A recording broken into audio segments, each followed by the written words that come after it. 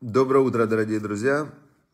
Всем доброе, добрейшее, веселейшее утро из Иерусалима. Я сейчас в Иерусалиме как раз и продолжаем изучать Тору из Иерусалима. Да? Как говорили пророки, из Циона выйдет Тора, у два Рашем Мирушалаем, что из Циона, это Цион, это одно из обозначений места в Израиле.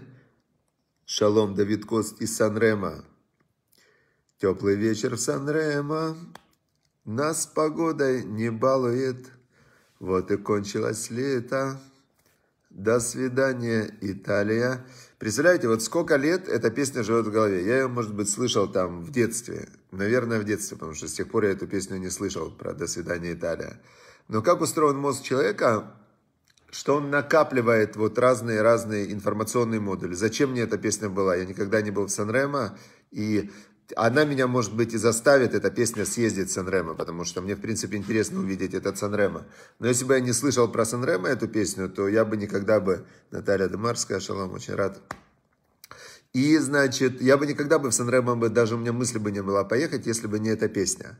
И она много-много лет живет в подсознании, и потом она бах, и оказывает влияние на мою жизнь, и опосредованно на вашей жизни, потому что я в, про Санрема вспомнил, а, основ, а кто это все вызвал, да? Вызвал, я вот не помню как, у нас из Санрема есть участник, так, вот, Давид Кост, Давид Кост э, из Санрема.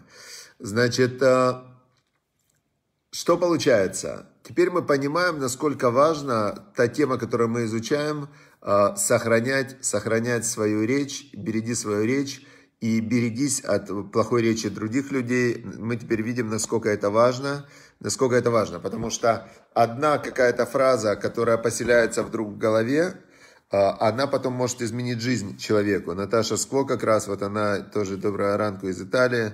Сейчас вот они, может, там а, в Италии соединятся. О, привет, друг, Ольга Рыбалка, много лет не виделись. Тоже. Вот мы с Ольгой, например, да, наслушались в детстве в спортинтернате, наслушались разных, а, разных наслушались а, информации. И не всегда эта информация, она оказывает полезное влияние на жизнь, потому что человек живет в мире правил. Вот интересно, я вчера встретил в, в, здесь в магазине мой сосед, это хозяин винодельни Тепперберг, есть эти вина Тепперберг.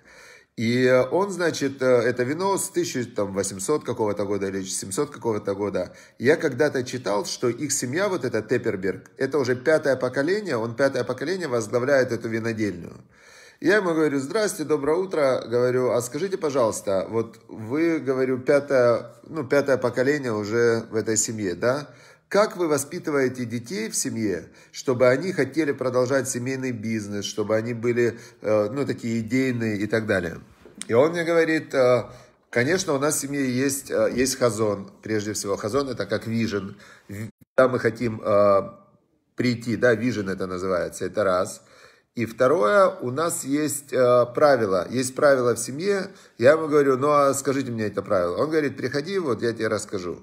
Значит, я надеюсь вот в ближайшее время к нему сходить и узнать эти правила. Мне очень интересно.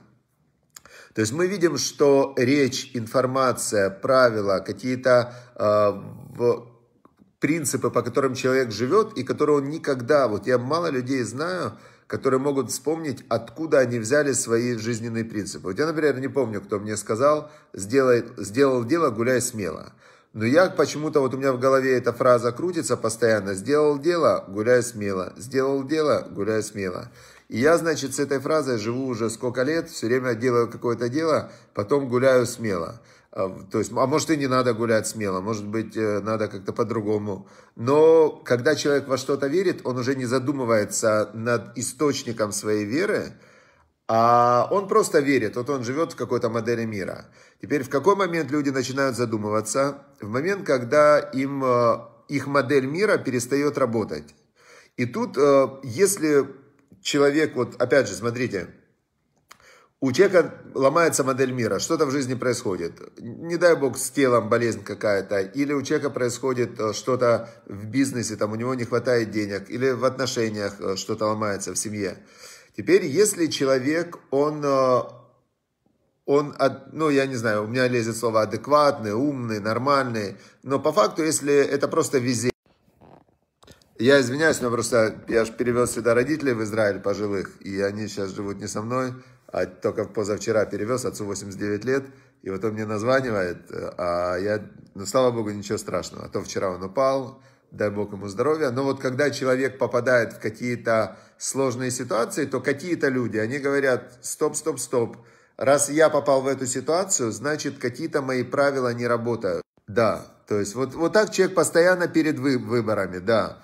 Постоянно перед выборами какими-то, вот в, в одну минуту можно так сделать, можно так, можно так отреагировать, можно так. То есть постоянные выборы. Теперь, если все хорошо у человека, он не задумывается, он просто идет на автомате, ему хорошо. Как только человеку наступает какой-то момент, ему плохо, да, какой-то дискомфорт, трение и так далее, тут у него возникает вопрос, почему, что делать, как реагировать. И вот здесь есть два варианта. Первый вариант, человек поворачивается внутрь себя и говорит, стоп, значит мои предыдущие решения, значит мои предыдущие действия не сработали. Раз мне сейчас плохо, значит есть сбой в какой программе? В моей. И я сейчас посмотрю, так, секундочку, что я сделал не так, что я думал не так, что мне сейчас э, плохо. И у такого человека есть возможность все исправить. Это называется чува. Вот мы как раз возвращаемся опять к повелевающей заповеди истории. Заповедь раскаяния. Раскаиваться в своих поступках, решениях, мыслях и, естественно, действиях. И у человека появляется тогда возможность вернуться обратно и сказать, так, где же, где же я неправильно принял решение? Вот здесь, вот здесь, вот здесь, и вернуться. Теперь э, второй вариант. Человек говорит, я красавчик. Я сто процентов. Мне плохо, все виноваты. Виноваты те, те, те, они неправильно себя ведут. А ну-ка, люди, давайте-ка изменитесь. А люди вокруг что говорят? Секундочку, тебе плохо? Да, а нам хорошо. Почему мы должны меняться? Мы делаем то, что нам удобно. Тебе не нравится, и ты еще хочешь нас обвинить и нас заставить, чтобы мы делали, как тебе удобно. То есть в 99% случаев люди, которые э, что-то делают вокруг вас, они не хотят меняться. И единственная вот эта вот точка, которая может помочь человеку изменить свой путь, изменить свои мысли, это ситуация дискомфорта и боли. Когда человек, и Всевышний вынужден так делать, он дает человеку боль, чтобы человек обратил внимание на свое здоровье. Он дает человеку неприятности, чтобы человек обратил внимание на свои пути, на свои правила, по которым он живет. Так работает мир.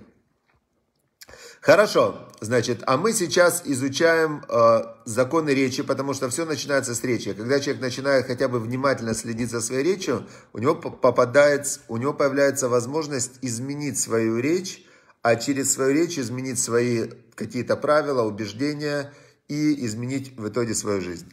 Хорошо, Теперь двигаемся дальше. Значит, похвала, сейчас мы изучаем э, уже такие нюансы, которые называются авак лашонара, то есть пыль лашонара. Это не совсем злоязычие, но это то, что пограничная такая э, зона, которая вызывает злоязычие. Значит, похвала, содержащая намек на недостатки, это пыль лашонара. То есть, с одной стороны ты хвалишь, но с другой стороны есть там намек. Давайте пример. Саша Шнайдер хочет сообщить другу, что Алек Фихтман очень добр к своим родственникам. Если Шнайдер подразумевает, что Фихтман добр исключительно к родственникам, но не к другим людям, до которых ему нет никакого дела, эта похвала запрещена. Например, да, он так хорошо относится к своей семье, прям вообще на руках их носит. Конечно. Понятное дело, что к своей семье да, к другим нет. Это так, но это не лошонара. Спроси его, а что ты его оскорбляешь? Он скажет, я оскорбляю. Я вообще только хорошо сказал, вы что? Но есть там намек на недостаток. Или другой вариант, приводит он. Бедняжка Малка так старается на уроках. Бедняжка Малка так старается на уроках. В этом лошонара. Видите, в пыли лошонара. То есть, если просто сказать, Малка старается на уроках, молодец. Значит, Малка молодец. А если сказать бедняжка Малка, что она такая бедняжечка, что она вот вообще э, намек на то, что Малка не слишком способна к учению, тогда запрещено ее произносить. Представляете? Теперь э, вот здесь, вот здесь очень э, тогда становится понятно, почему многие люди обижаются друг на друга. Вот здесь есть момент, момент есть вот этого вот внутреннего намерения, да? То есть есть человек, он у него есть намерение сделать добро, или у него есть намерение сделать зло. Это первый показатель, да? Слова здесь, они являются как бы оболочкой намерения. Но есть другой вариант, когда у человека есть намерение сделать добро, а тот, кому он говорит, воспринимающий, он изначально верит, что люди хотят сделать ему зло. А, значит, есть люди, которые изначально верят, что, что ему хотят сделать зло, то есть у него убеждение. И он трактует тогда любую, любую вещь в минус. Теперь а, есть слова, и мы сейчас говорим о разных словах, о разных таких а, вещах, которые многозначные. Есть поступки, которые, которые тоже, опять же, можно трактовать по-разному. В общем, тема сложная, поэтому еще раз а, мы сейчас говорим, каждый за себя начинает думать, начинает думать начинает он думать и думать, где я, может быть, э, ошибаюсь, где не ошибаюсь, наблюдать за другими, где кто как ошибается. В общем, каждый из нас находится на войне, линия фронта, которая проходит внутри борьба между животным началом и между божественной душой. И дальше есть система правил, по которой человек живет. И эта система правил определяет его действия. Все остальное в жизни, все события в жизни, все все вот э, внешние обстоятельства, в которых человек живет, это, это все ответ. Как сказал царь Соломон в Экклезиасте, он сказал так, что Бог сделал мир леонот лебне адам. Леонот это отвечать. Первое объяснение леонот это отвечать людям. Что значит отвечать людям? Каждое действие вызывает последствия. Каждое слово вызывает последствия. Каждое намерение вызывает последствия. То есть весь этот мир, он как, э, как некий механизм, который является следствием того, что делает человек. То есть представляете, какая вот у каждого есть свобода. То есть ты делаешь действие, вот ты поворачиваешь голову, у тебя картинка меняется. Повернул голову, картинка меняется. Повернул сюда голову, опять новая картинка. Ицхака послушал, отлично, нажал кнопочку Comedy Club, нажал кнопочку еще что-то. То есть человек, он является таким пультом управления, на который реагирует внешняя реальность. Понятно, да? Это первое значение. Второе, леонот, это от слова инуи. Инуи – это не очень хорошее слово «изнурять» переводится, «изнурять». То есть весь этот мир Бог сделал для того, чтобы изнурять человека. Но вы спросите, а зачем э, Богу, чтобы человек изнурялся? Вначале Бог сделал так, что этот мир был как рай – и когда мир был как рай, то люди, написано, извратила вся плоть свой, свой путь на земле. Это было до потопа. То есть, когда у человека все хорошо, мы это часто наблюдаем э, на людях, когда у них все-все-все хорошо, то испытание богатством мало кто может пройти. То есть, оно намного сложнее, чем испытание бедностью. Э, пускаются люди во все тяжкие, в наркотики, в развраты разного типа. Вот когда все хорошо, то человеку скучно, и он начинает сходить с ума. Теперь, значит, поэтому после потопа Бог, Он сделал ситуацию, в которой человек проходит этот мир достаточно тяжело. В каждом этапе у него есть какие-то проблемы, сложности, проблемы, сложности. Только вот все нормально, да, у меня, например, мне сейчас 48 лет. Тут начинается, родители уже пожилые, там у мамы деменция, папа болеет, там все такое, набор сложностей. Только 48 лет как раз все отлично, жизнь, бизнес, все Тут бах, э, болезни какие-то начинаются, не дай бог, у человека там что-то там болит, здесь болит, там. То есть на каждом этапе жизни тебе кажется, что только ты вот-вот, ты выстроил все, что хотел, и тут же Всевышний говорит, секундочку, что значит? Этот мир, этот мир работы, и ты что, хочешь здесь отдыхать? Нет, не получится. И это называется изнурять людей. Но те люди, которые это осознают и понимают, они как люди, которые ходят в спортзал. Люди, которые в спортзал ходят, они же напрягаются, они реально потеют, некоторые до боли качаются. Но они понимают, что я сейчас час погрузил себя, а потом мне будет хорошо. То есть такой будет сразу приход эндорфины. После спортзала прям такое ощущение тела, рай. И тело будет более долго в хорошем состоянии.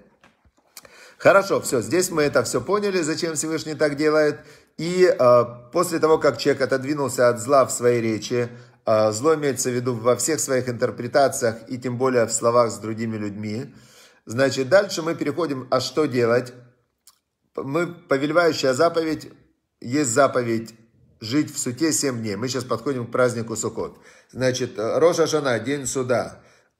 Два дня не работаем, трубят в шафар, чтобы человек пробудился. И день суда, все, значит, желают друг другу хорошего года, Рошашана, и берут на себя какие-то обязательства по поводу того, чтобы в следующем году сделать что-то хорошее. Это первое, второе тишрея. Потом 10 дней раскаяния, 10 дней раскаиваются, исправляют э, свои ошибки прошлого года. И в Йом-Кипур, день поста, не едят, не пьют, э, в синагоге молятся, 18 раз произносят исповедь, ведуй, и э, все, как химчистка такая, стирка закончена, без греха. После этого остается 4 дня построить суку, и 15 числа месяца Тишрей наступает праздник Сукот. 15 числа мы учили, не делаем никакую работу, заходим в суку, и 7 дней есть повелевающая заповедь, 7 дней жить в суте. Сказано о празднике Сукот в Торе. В шалашах живите 7 дней.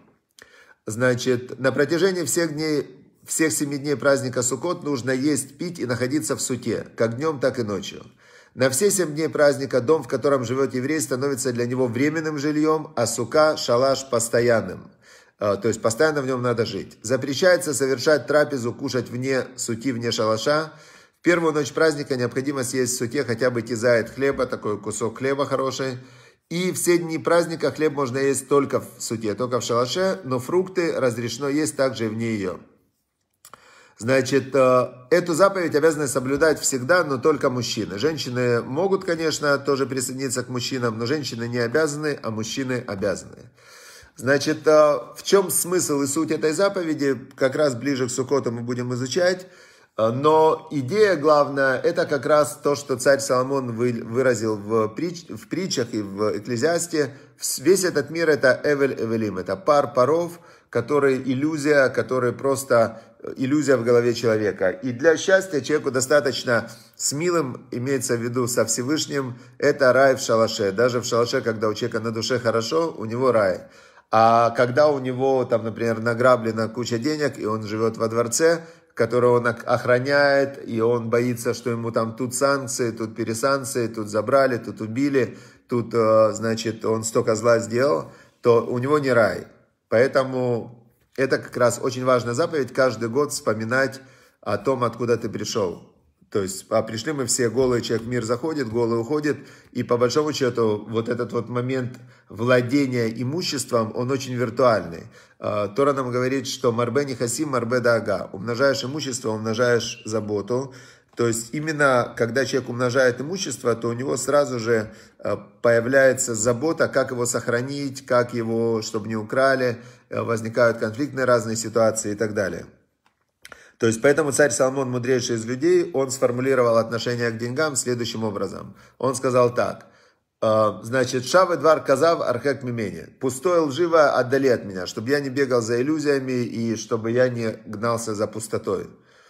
Раш воошер альтитенли. Бедность и богатство не давай мне, сказал царь Соломон. И трефени лехем хути. Значит, накорми меня законным хлебом, чтобы было у меня законный хлеб – и, значит, э, все хорошо. То есть, чтобы не было слишком большого богатства, испытания, слишком большой бедности, испытания, а чтобы было все нормально, а испытания я себе сам найду. Где найду? Можно найти себе испытания, учиться много, в спортзале, можно тесты какие-то проходить. Испытания человек, если он хочет испытывать себя на прочность, можно тут попастился, тут потренировался, тут в поход пошел, тут добрые дела поделал. Это тоже испытание, когда человек делает кому-то добро, то это испытание. Каждый раз животная сущность, она возмущается. Как ты отдаешь? Как ты вообще отдаешь? Вы знаете, вот люди, когда говорят, что э, там кто-то говорит, что вообще он произошел от обезьяны. Обезьян ловят очень, это очень большая метафора, которая показывает суть вот этого животного начала в человеке. В Африке как ловят обезьян? Обезьян ловят так. Ставили такой вот э, кувшин глиняный с узким горлышком, а в кувшин насыпали орешки, разные орешки. Значит, и кувшин привязывали к дереву там или закапывали в землю, чтобы он э, держался на месте. Обезьяна засовывает свою лапу в кувшин и берет пригоршню орехов. Вот такую жменечку. И, значит, она хочет вытащить руку с орехами, а уже рука с орехами не вылазит. А отпустить орехи она не может. Ей жалко. Вот это суть человека, который суть обезьянной части в человеке, вот этого животного начала. То есть схватить побольше, а отпустить не получается. И вот человек у него, он уже не знает, что делать, а его держит все это его имущество, он за каждую тарелочку, за каждую свою эту переживает, и, и все. А это же не жизнь, когда ты все время переживаешь, чтобы у тебя там ничего не пропало, пятно тут не поставить, тут это самое. Это же не жизнь. Хорошо, теперь и последняя коротенькая у нас сейчас будет ставочка. Э, книга Рава Ицка Зильбера «Чтобы ты остался евреем» о его жизни. И здесь я как раз э, кусочек вот о том, как он жил. Вот многие жалуются, говорят, мне тяжело, мне плохо, я то не могу, это не могу, жизнь тяжелая, тяжелые жизненные обстоятельства. Столько я слышу таких жалоб, что просто ну, нереальное количество. Э, Рав Зильбер рассказывает о своем детстве, о своей молодости, о своей жизни. Называется рассказ «Голод». Он говорит, вы не представляете себе, как трудно было с хлебом в те годы, в 42-43. Тяжело вспоминать. Люди умирали от голода каждый день. Умные, прекрасные люди умирали от голода каждый день. Занимали очередь за хлебом с вечера, писали номер на руке. Помню, как-то у меня был номер 1500 какой-то. Я стоял сколько мог, потом уходил на работу, а на мое место вставала мама. Она в семье больше всех стояла в очередях, держала книжечку псалмы Таилим в руке и ждала хлеба. Хлеба. Утром, когда открывался магазин, в толпе не раз насмерть давили людей. Это люди. Однажды мама вернулась без хлеба. Когда подошла ее очередь, одна из эвакуированных, еврейка, закричала, что мама не стояла в очереди. Люди говорили, что стояла, но та женщина все-таки маму силой вытолкала из очереди. И мы остались в этот день без хлеба. А кроме хлеба у нас вообще ничего не было. Изредка картошка. А, потому что картошку надо было покупать, а у них не было тоже денег. Минуло две недели. Пришла какая-то женщина просить милостыню. И мама ей вынесла кусок хлеба. Женщина взяла хлеб, заплакала и ушла. Мама сказала мне, это та самая женщина, которая вытолкала меня из очереди они узнали друг друга. Представляете? То есть вот мы видим поступок, откуда берутся цадики, откуда берутся праведники. Вот, пожалуйста, вам, значит, мама Раваицкака поступила так, и он это видел, это поступок.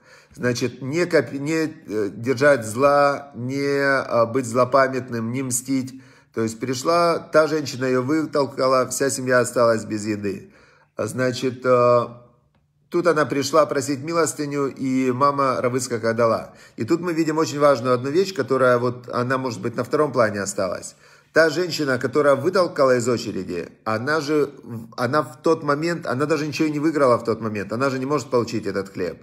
То есть она просто из своей, ну, у нее были какие-то ее соображения, почему она вытолкала.